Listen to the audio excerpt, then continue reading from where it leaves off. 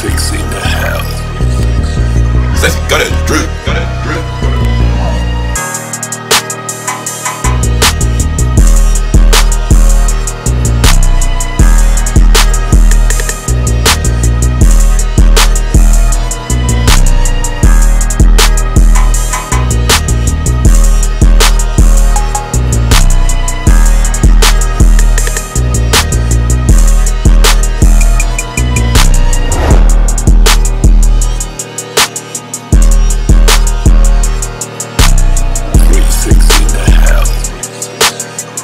Got it.